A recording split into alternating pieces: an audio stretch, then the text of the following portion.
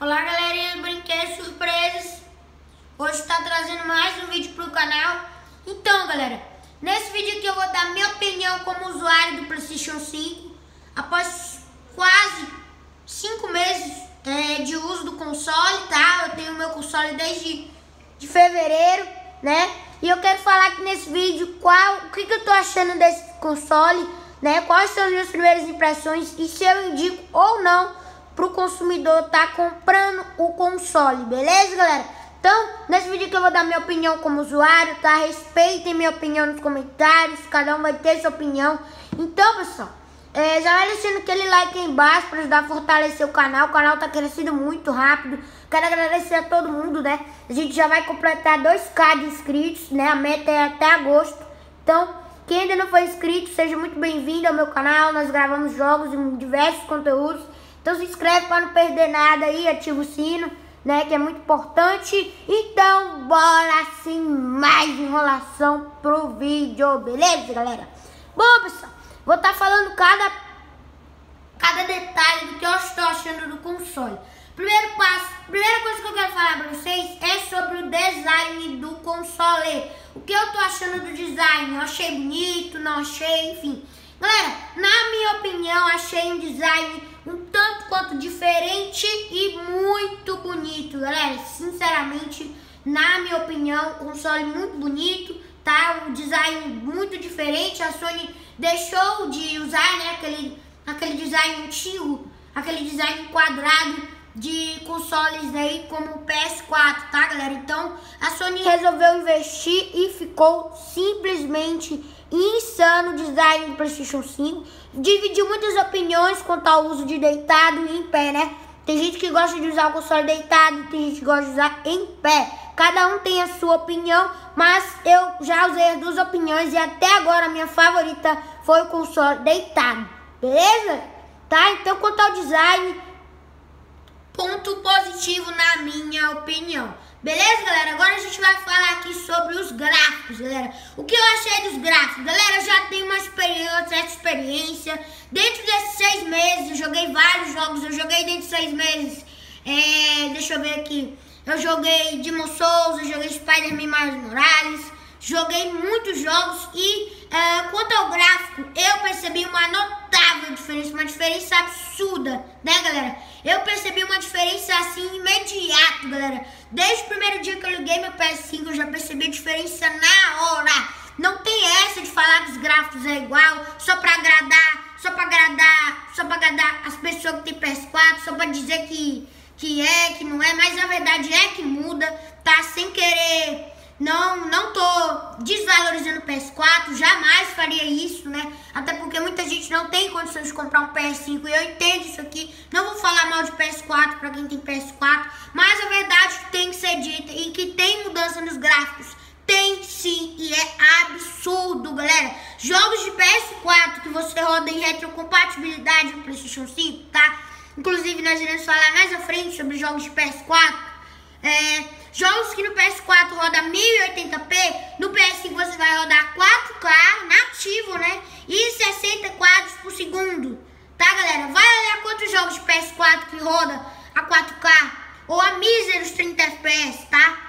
Tá? São muitos poucos jogos, né? Tem, o jogo, tem jogo de PS4 que sua para rodar a 30 quadros, tá? Então, falar que teve diferença da geração PlayStation 3 para PlayStation 4, não teve. Mas agora da geração PS4 para PS5 teve diferença. Todos os jogos do PS5, todos os jogos tá, rodam a 60 quadros por segundo.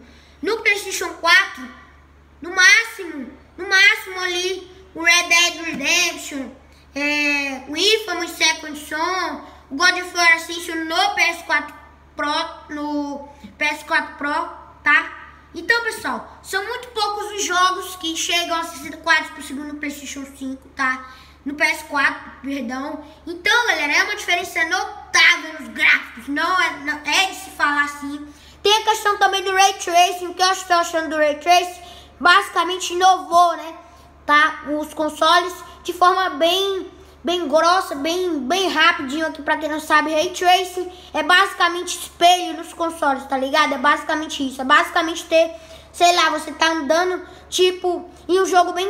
Um, um jogo que faz uso do Ray Tracing, as Spider-Man Miles Morales. Quando você tá andando, se balançando na cidade, você olha na, no vidro da, do arranha-céu lá dos prédios, você vê seu reflexo. Ou seja, o Ray Tracing, o primeiro console a ter os espelhos é o PlayStation 5.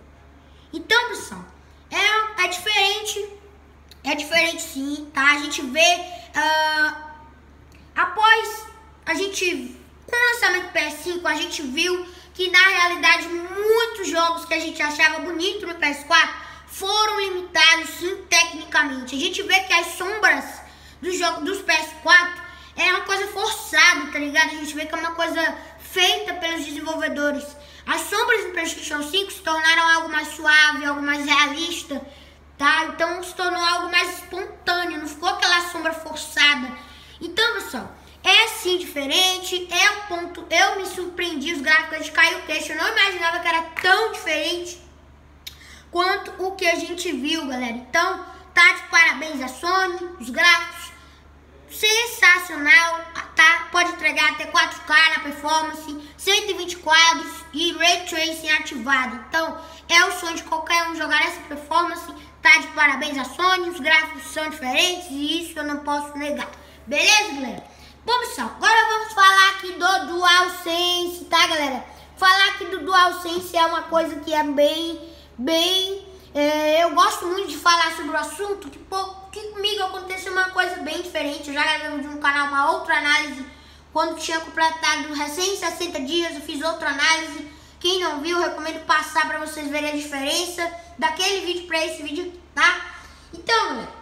É, vamos lá, pera aí, deixa eu pegar aqui meu controle de PS4 pra gente fazer uma breve comparação, comparativo entre esses dois controles, beleza, galera? Então esses aqui são os controles, um de, esse que é de PS4 aquele de PS5, e a gente vê que a diferença é muito grande, tá, pessoal? Lembrando que eu fiz mais detalhes no vídeo que eu vou deixar aqui no card, beleza?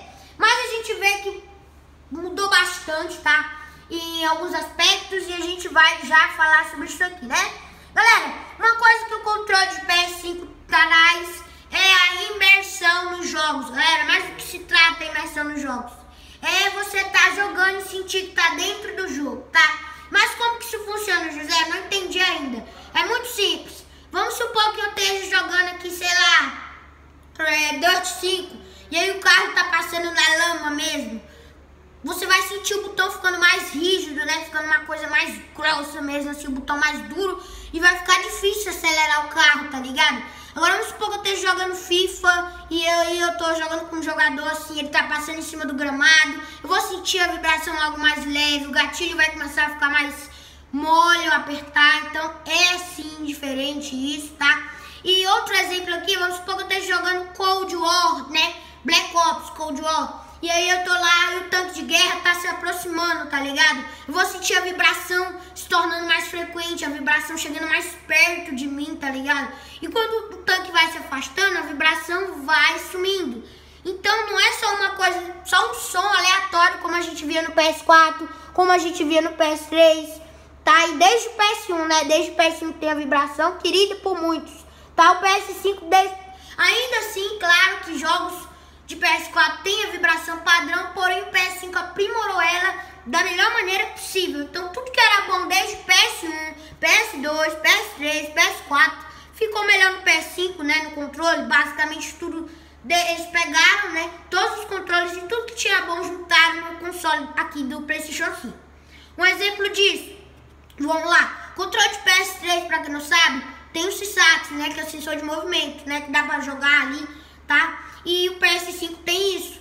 O controle de PS4 tem touchpad, que é aquele negócio ali. O de PS5 tem isso. Ou seja, ele pegou tudo que os outros controles tinham e juntou em um e deixou nesse design maravilhoso, nessa maravilha de console, de controle. E é sensacional, galera. É um controle maravilhoso que só jogando pra entender, tá? Porém, o que eu quero falar pra vocês é que o gatilho do controle está molenga, galera. O L2 do meu controle né? Não sei se vai dar pra perceber no vídeo, mas está um pouco mole. E isso aconteceu durante um jogo, eu tava jogando e senti um estralo, um estralo e ficou molenga assim, tá? Eu já vi vários relatos de usuários do PS5 com esse mesmo problema, não é comigo. Você pode falar que deixou o controle cair? Não. Não, galera. Eu já vi vários usuários reclamando no R2 ou no L2 que está molenga assim, tá? Eu poderia ir recorrer à Sony, recorrer à garantia? Poderia. Mas por que eu não vou fazer isso? Porque estamos na pandemia, não é época para sair de casa e é, quanto tempo que eu vou levar para Sony me dar outro console? Então deixa quieto, não tá interferindo. Eu não costumo jogar jogos de tiro, o meu gênero não é esse, pra tá me interferindo, tá? Mas de qualquer forma eu tenho sim a garantia, eu posso estar tá recorrendo à Sony, tá? Então eu não vou fazer isso porque pode ser que eu leve quanto tempo, quantos meses sem meu PS5 e vai ficar difícil ficar sem PS5, porque sem PS5 fica sem vídeo aqui no canal porque um dos objetivos do meu PS5 é justamente eu comprei para produzir gameplay de conteúdos, né? Eu comprei para jogar Demon Souls, para jogar Spider-Man Miles Morales, jogos exclusivos da nova geração e que vocês possam estar tá vendo aí tudo em 4K, tá, galera? Então deixa quieto, não tá me atrapalhando. Então fica de boa, finge que o controle tá normal, beleza, galera? Então, agora que nós vamos falar sobre jogos. Jogos, será que já tem jogos para PS5? Ah, mas o PS5 tá cheio de jogos, é muito legal, nossa, é maravilhoso. Vamos com calma, pessoal. Vamos com calma, que não é assim que as coisas funcionam. Galera, estamos no início de geração, então é comum que a maioria dos jogos saia também para PS4, como é o exemplo do próprio Spider-Man Miles Morales, Little Big Planet, Sackboy Adventure, é, deixa eu ver aqui mais algum. Enfim, jogos também saem para PS4. Porém, alguns jogos saem exclusivos para PS5 que até agora são bem poucos, né? Pra ser sincero, tá? Até agora, somente Demon Souls, Returnal e Godfall, deixa eu ver se tem mais outro. É, eu acho que são esses três que são exclusivos, tá? Então, será mesmo que você vai pagar 4.700 ou até mais, né? Vendedores aí que chegam a vender o console de 9 mil reais pra jogar um, três, dois, três jogos. Será? Eu gosto de jogar de Souls. Eu comprei de Souls, eu gosto de jogar de Souls. Joguei no PS3 e quero jogar de novo no PS5. Mas aí, jogos com Godfall, eu nunca joguei Godfall. Nunca joguei Retorno. Então, meu amigo, é complicado. Eu recomendo você esperar mais uns seis meses até lançar os títulos que estão sendo sim especulados, né? Que como, por exemplo, aí, o próprio como é que fala? Como é? O Gran Turismo 7 vai sair, tá todo mundo hypado, vai ser sensacional, né? Vai sair God of War Ragnarok, Harry Potter, Hogwarts, vai sair muito jogo em 2022. Então, amigo, se você já tem PS4, espera mais um pouco. Espera mais uns seis meses, ou até mais, para sair os títulos pro PS5. Porque se você comprar um PS4, você vai jogar tudo que o PS5 roda para ser sincero, você vai jogar Little Big Planet Sackboy, você vai jogar Spider-Man Miles Morales, você vai jogar Warframe, você vai jogar Cyberpunk 2077, então você não vai ter nada a perder, tá? Porque, por exemplo, Demon Souls, Demon Souls é só um remake, né? Só um remakezinho que vai melhorar a qualidade ali, né? Que no PS3 rodava 720p, 30 quadros, aqui no PS5 vai rodar 4K, a 60 FPS, com Ray Tracing, entre aspas. Então é só um remake, é algo que praticamente todo mundo jogou, né? Creio que todo mundo aí já deve ter jogado Demon Souls, já ouviu falar, já sabe como é o jogo. Então, galera, será mesmo que vale a pena comprar? Por exemplo, eu esqueci de falar aqui, mas Ratchet Clank vai sair esse mês, eu acho que é esse mês, vale ressaltar. Ratchet Clank entrou na pré-venda. Mas não deixa de ser pouco, galera. É pouco, é pouco sim para pagar é, esse valor absurdo, né? em três jogos, quatro jogos, né? Que é muito. Então, galera, eu realmente acho que se você ainda não tem. Eu comprei para jogar Demon Souls e outros jogos aí, porque eu sou fã da franquia. Tenho PlayStation desde que me entendo por criança. Tenho esses consoles porque amo, porque acompanho, porque é meus consoles favoritos, porque amo PlayStation 3, o PlayStation 4 e o PlayStation 5. Por isso que eu tenho, para comprar, para acompanhar, né? Para manter em dias para jogar aqueles jogos clássicos que eu joguei no PS4 em 4K, né? Para ver aí a nova geração. Mas quanto a jogos, não tem jogos. Não tem jogos. Não tem jogos, galera. Essa é a verdade. Ainda não tem jogos exclusivos, né? E então, galera, vai espera mais um pouquinho, compra outro, compra aí um Playstation 4, você não tem nada a perder, galera. Sinceramente, você não tem nada a perder. Na questão de jogos, claro que falando graficamente, você tem tudo a perder. Mas, quanto a jogos, espera mais, porque os, os lançamentos de peso que a Sony tá prometendo vai sair só ano que vem, galera. Então tem muito tempo até lá, tá? Pra tá esperando. Eu recomendo você esperar mais um pouquinho. Beleza, galera? Então, pessoal, esse aqui foi o vídeo, esse aqui foi a minha análise. A minha análise é essa, minha opinião é essa. Espero que vocês tenham gostado do vídeo. Se você gostou, deixe seu like embaixo. É um console maravilhoso, tá? Tô achando até agora um videogame excelente, maravilhoso, né? Só tem essa questão dos jogos aí. Então, deixe sua opinião aqui nos comentários se você tem o console, se você gosta, se você vai comprar, se você não vai comprar, se você vai esperar, enfim. Quero ler todos os comentários, então deixe sua opinião aí que eu vou estar tá lendo aí.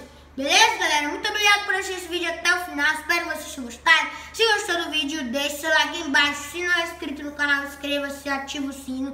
Eu vou ficando por aqui e até a próxima. Fui!